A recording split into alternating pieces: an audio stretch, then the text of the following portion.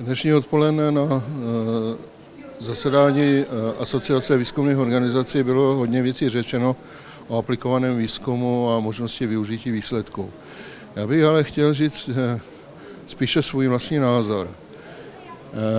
My se nemůžeme dívat na budoucí využití výzkumu, výzkumu a vývoje podle toho,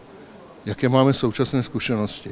Ten vývoj je strašně rychlý a my budeme muset, eh, a to myslím, že Technologická agentura České republiky dělá, přicházet s některými novými řešeními. Jako příklad bych třeba chtěl uvést eh, centra kompetence, kdy jsou to projekty, které mají kolem 20 účastníků a kde se zvolila v podstatě metoda, že projekty, ty dílčí, které oni řeší, už se neschvalují na úrovni technologické agentury, ale schvalují si ta konzorcia sama, samozřejmě podle nějakých základních principů, které ten program stanovuje, tak aby eh, finanční prostředky, které dává stát, byly využity co možná nejefektivněji. Ale eh,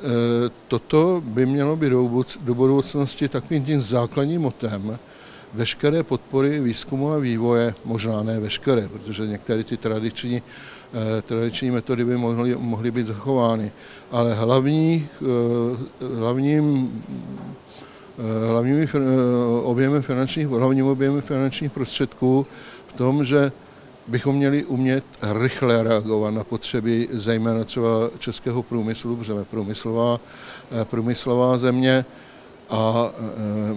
měli bychom doopravdy umět i rychle reagovat na to, jaké nové podněty se nám objeví a také se teď mluví o finančních prostředcích Evropské unie, které bude moci Česká republika využít, ale umět také tyto finanční prostředky využít efektivně, rychle a navázat na ně eh, ty peníze národní. Takže to je taková, takové spíše budoucnost, která eh, nás čeká. Technologické agentuře, jak jsem říkal, tak to se snažíme uvažovat, přicházet s novými nápady, no, nebo spíše nápady tedy na jaké nové formy podpory a uvidíme, jak se situace bude dále vyvíjet.